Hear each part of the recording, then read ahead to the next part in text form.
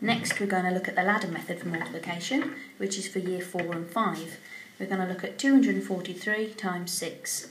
So we look at the number and look at it as 240 and 3. And we're going to encourage the children to start with the ones and we're going to look at it as 3 times 6 for this top bit here, which is 18.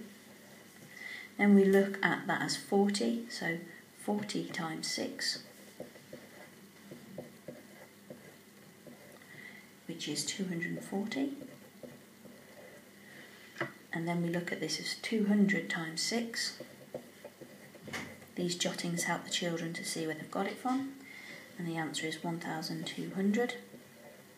When we've got all those answers, we then add them, starting with the ones. 8, 5, 4, 1, giving us the answer of 1400 58.